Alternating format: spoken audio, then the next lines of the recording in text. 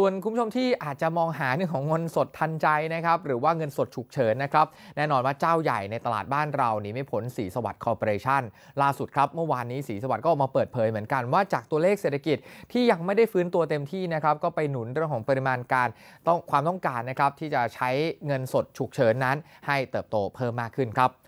ดยเมื่อวานนี้นะครับคุณธิดาแก้วบุตรตานะครับกรรมการผู้จัดการของบมจศรีสวัสดิ์คอร์ปอเรชันนะครับบอกว่าบริษัทได้มีการร่วมกับเงินทุนศรีสวัสดิ์ครับยกระดับเป็นสถาบันการเงินทางเลือกใหม่ ภายใต้การกำกับของธนาคารแห่งประเทศไทยครับโดยอยู่ระหว่างการขออนุมัติจัดตั้ง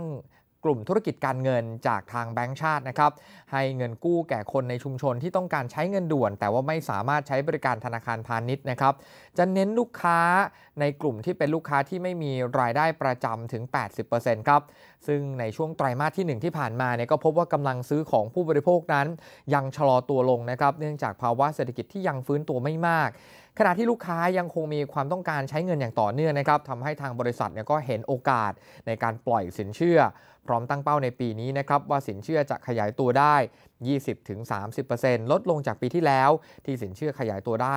50%ครับหรือว่ายอดสินเชื่อใหม่นะครับในปริมาณ 18,000 ล้านบาท นอกจากนี้ครับบริษัทยังระมัดระวังนะครับในการปล่อยสินเชื่อ เพื่อดูแลปัญหาหนี้ที่ไม่ก่อให้เกิดรายได้ หรือว่า NPL ไม่ให้เกิน 3%ด้วยครับความต้องการใช้เงินอยู่นะคะจากจากอนอกกรุงเทพเนี่ยก็ยังมีความต้องการใช้เงินที่ค่อนข้างเยอะอยู่ค่ะ เพราะฉะนั้นในส่วนของภาพโตของทางธุรกิจเนี่ยก็อาจจะเติบโตอยู่ประมาณ 20-30%ขึ้นไปนะคะ นอกจากนี้นะคะ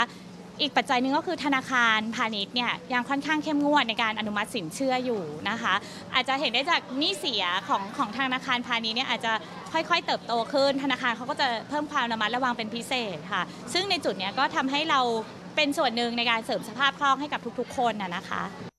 ซึ่งปัจจุบันนะครับสีสวัสดิ์คอร์ปอเรชันนั้นมีลูกค้า4แสนรายครับ ครอบคลุมการให้บริการด้านสินเชื่อ ตั้งแต่วงเงิน 7,000 ถึง 70 ล้านบาทนะครับ มีสาขา 2,300 สาขาครับ และตั้งเป้ายอดขยายสาขาเพิ่มเติม ให้ครบ 3,500 สาขาภายใน 3-5 ปี และมีการขยายตลาดนะครับไปยังกลุ่ม CLMV ซึ่งปัจจุบันเนี่ยบริษัทก็มีสาขาในเวียดนาม 4 สาขานะครับ และจะตั้งเป้าเพิ่มขึ้นเป็น 10 สาขา